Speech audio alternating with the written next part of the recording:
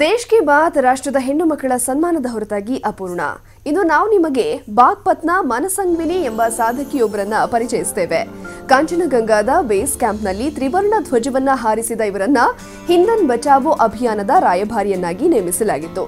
ರಾಜಸ್ಥಾನದಲ್ಲಿ ನಡೆದ ಅಂತಾರಾಷ್ಟ್ರೀಯ ಸಮ್ಮೇಳನದಲ್ಲಿ ಮನಸಂಗ್ವಿನಿ ಈ ಜವಾಬ್ದಾರಿಯನ್ನ ನಿರ್ವಹಿಸಿದ್ರು.